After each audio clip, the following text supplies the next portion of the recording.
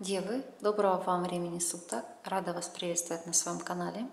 Меня зовут Ева Лекцер. В данном видео предлагаю вам рассмотреть тароскоп на август 2018 года. По традиции расклад вам покажет общую атмосферу месяца, события, которые наиболее вероятно отыграются в сфере работы, финансов, здоровья, личной жизни и карты дадут вам совет, как наиболее продуктивно провести вам этот месяц. Хочу напомнить, что расклад выполняется для широкой аудитории и проиграться абсолютно для всех он в принципе не может. Плюс многим из нас необходимо смотреть гороскопы не только по знаку своего асцендента, но и по знаку зодиака в натальной карте. Итак, давайте смотреть. Общая атмосфера месяца. Что вас ожидает в плане работы, финансов,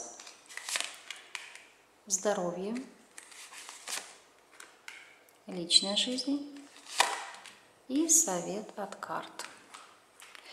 Итак, общая атмосфера месяца.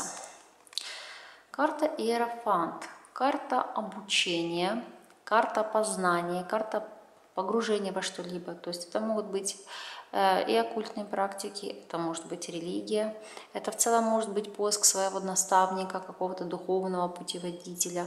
Это карта традиций и норм, э, общепринятые морали, то есть следование канонам.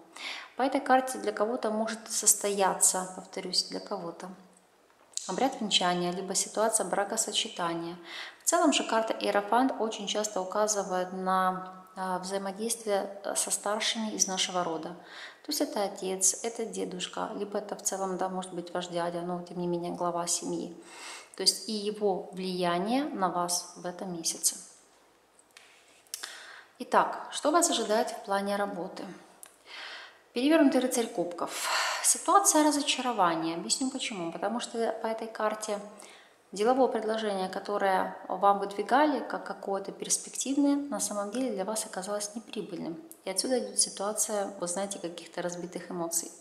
Если вы были на текущий момент безработным, то ситуация трудоустройства здесь не состоится. Если вы а, работник по найму и вам обещали какие-то радужные перспективы в плане перехода на новую должность, новый отдел, новый филиал, либо ситуация повышения уровня вашего благосостояния да, в качестве надбавки, то опять же, это знаете, как обещанного три года ждут.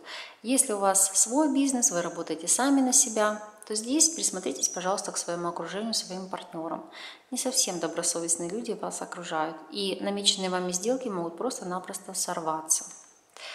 Так, что вас ожидает в плане финансов? Пятерка мечей. Вот то, о чем я говорила. Ситуация серьезных материальных потерь. Объясню почему. То есть, если у вас свой бизнес, вас кинут на деньги, если у вас ситуация безработицы, то это называется уже э, сошкребать последнее, жить на последнее, знаете, вы как на остатках. Здесь можете быть даже в долгах, как в шелках. Если вы все-таки работник по найму, то э, могут просто не выплатить зарплату. Ну, например, вы недавно трудоустроились, да, проработали, а зарплаты вы так и не получили. Или бы в целом ситуация а, каких-то штрафных санкций, которые могут на вас повесить, либо ситуация в целом конфликта из-за денег. Неважно, что чего это будет касаться. Например, а, выплатили вам не в полном объеме зарплату, там, отпускные, либо какие-то премиальные, либо вам не дали материальную помощь, и будет из-за этого очень большой конфликт. Поэтому в плане финансов в августе месяце будет такая очень напряженная обстановка. Что вас ожидает в плане здоровья?